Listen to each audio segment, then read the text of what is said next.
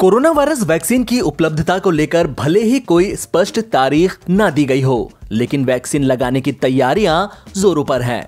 Britain में अस्पतालों को अगले तीन हफ्तों के भीतर वैक्सीन रोल आउट करने की तैयारी करने को कहा गया है। ब्रिटिश अखबार द मेल के मुताबिक, पिछले हफ़्ते एक मीटिंग में कहा गया कि यह महीना खत्म होने से पहले वैक्सीन का डिस्ट्रीब्यूशन किया जा सकता है। शुरुआत में वैक्सीन केयर होम रेजिडेंट्स 80 साल से ज़्यादा उम्र के लोगों और फ्रंट लाइन वर्कर्स को दी जाएगी।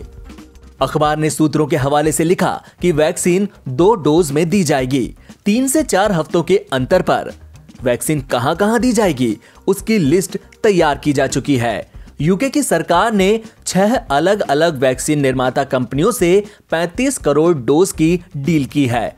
इनमें से दो वैक्सीन सबसे आगे है।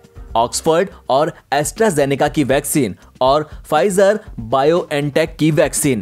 पिछले हफ़्ते यूके की वैक्सीन टास्क फोर्स की चीफ कैट बिंगम ने कहा था कि रेगुलेटर्स वैक्सीन को सेफ़ घोषित करते हैं तो वह साल के अंत तक उपलब्ध हो सकती है।